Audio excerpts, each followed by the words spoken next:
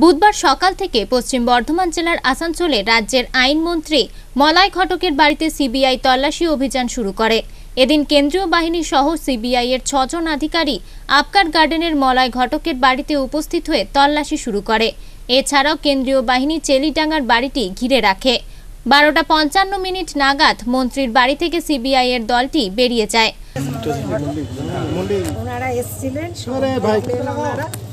দেখে মানে ওনারা বললে মানে ওনা- ওনাদের কথা যে আমরা যা পেয়েছিলাম এখানে এসে সবই উল্টো দেখলাম। তো ভাবতে পারিনি এটা একটা মন্ত্রীর বাড়ি হতে পারে এটা বললেন। আমাদের সাথে ভীষণ ভালো ব্যবহার করলেন ভীষণ ভালো ব্যবহার করলেন। আমি আমিও আমার ব্যবহারও বললেন আপনার ব্যবহারও ভীষণ ভালো।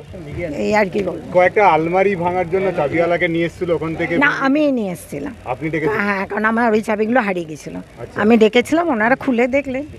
কিছু পেয়েছেন ওখান থেকে? কিছু নথিপত্র আপনারা কিছু দেখলেন ওনাদের হাতে? বলুন আগে। কিছু দেখলেন কি? কোনো ফাইল বা ব্যাগ বা ঝোলা নিয়ে যাচ্ছে। হ্যাঁ।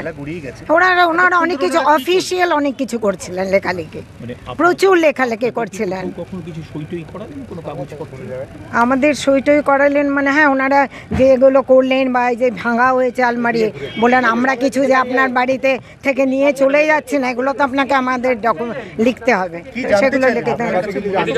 কিছু জানতে চাননি। শুধু ওনারা চেক করে চলে গেলেন। ঠিক আছে বলছি দিদি, ঘরে ভেতর করা হয়েছে? না বললেন আপনি নামিয়ে দিন ম্যাডাম।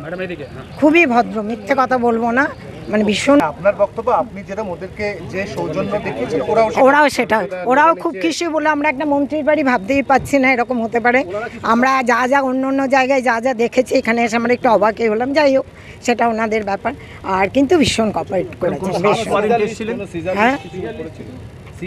না না।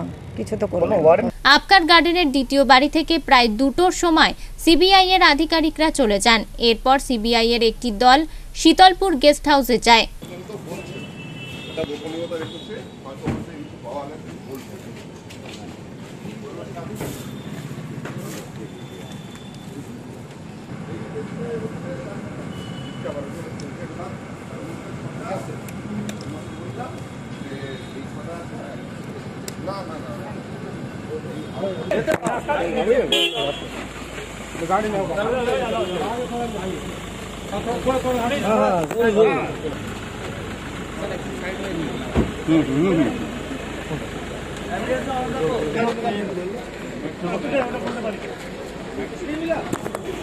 অপর একটি দল মলাই ঘটকের চেলিডাঙ্গার পৈতৃক বাড়িতে যায়।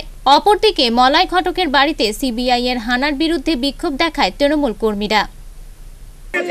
এখন যাওয়া যাবে না। আমরা বললাম জাস্ট একটু বৌদির সাথে দেখা করতে দিন। বৌদির শরীরও ভালো নেই একা উনি ভেতরে রয়েছে। একটু খালি যেতে দিন একজন সেটুকু ওনারা করলেন না। সেটুকু ওনারা কীভাবে দেখছেন এটাকে? কীভাবে দেখছেন? দেখছি সে তো একটু পরেই তার জামা ঠিকই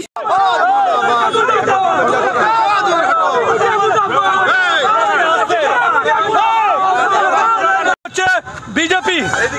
বিজেপির দালাল সিবিআই ইডি তৃণমূল কংগ্রেসের নেতাদেরকে মিথ্যা মামলায় হারান করছে, পরেশান করছে।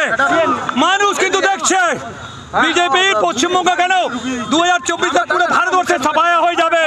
এটা কিন্তু মনে রাখব বিজেপি সিবিআই এবং ইডিকে দিয়ে আমাদের তৃণমূল নেতাদেরকে মিথ্যা মামলায় ফাঁসিয়ে তাদেরকে হয়রান করার চেষ্টা করছে।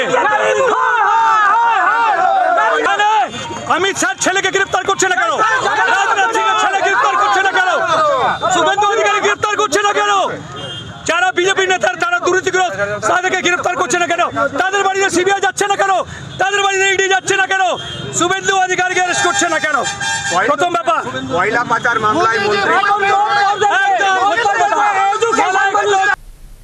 আসানসোল থেকে সৌমিত্র গাঙ্গুলির রিপোর্ট আনন্দ বার্তা